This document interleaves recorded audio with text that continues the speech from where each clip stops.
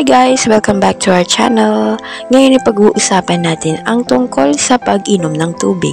Kung bago ka pa lang sa ating channel ay huwag kalimutan mag-subscribe para updated ka sa ating mga bagong videos. Tara, simulan na natin. Wow! Alam niyo ba na maaring tubig ang lunas sa inyong sakit?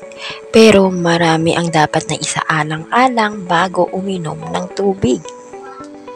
Siguraduhin ligtas ang iniinom niyong tubig. Narito ang mga ilang paalala para sa inyo mga kaibigan. Mag-ingat sa maduduming tubig o contaminated water. Pwede itong ikamatay o makamatay kapag madumi ang tubig na nainom mo. Pwede kang magka-typhoid diarrhea at hepatitis A. Delikado ang mga sakit na ito. Huwag makipagsapalaran at baka tayo ay maospital.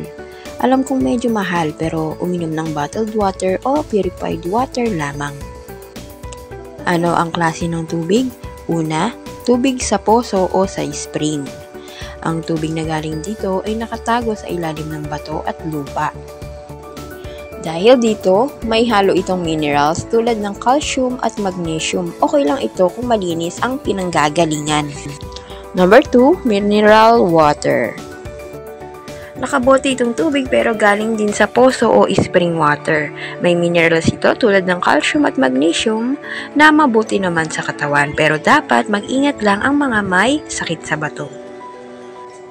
Number 3, distilled water. Kapag distilled water, mababa na ito sa minerals. Ito yung madalas gamitin ng mga nanay sa pagtitimpla ng gatas ng kanilang anak, tulad ng formula milk. Number 4, purified water.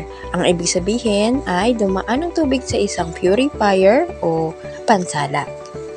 Basta malinis ang mga tubig, pwede naman itong inumin. Paano ang tamang pag-inom ng tubig? Kailangan ng katawan ang 8 hanggang 12 basong tubig sa maghapon. Sa mga kababaihan, wala pang tawa dahil kung hindi ay baka kumulubot ang iyong kutis at mukha. Panlaban sa wrinkles ang pag-inom ng sapat na tubig.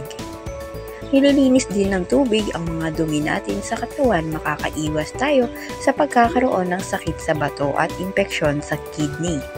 Nababawas din ng pangangasim ng inyong sikmura kung regular ang pag-inom mo.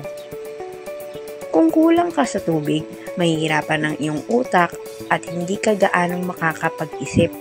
Baka ma-dehydrated ka Lalo na sa sobrang init sa Pilipinas, kapag nanunuyo ang iyong mata, lalamunan o ilong, huwag bumili agad ng gamot.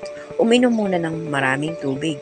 Tandaan, umiinom ng tubig kahit hindi ka nauuhaw.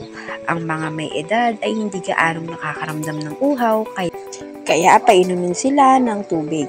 Tubig lang ang pinaka-healthy sa lahat. Huwag uminom ng soft drinks, iced tea, alak at kape, lalo ka lang mauuhaw sa mga yan.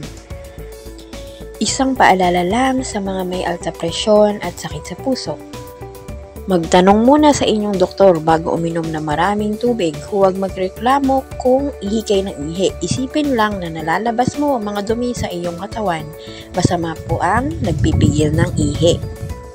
Dahil baka magka-infeksyon ka, tubig lang ang sadyang sagot sa karamdaman mo. So, dito ko natatapusin ang video na ito. At kung nagustuhan mo ang video na ito, ay hit the like button para parang masaya.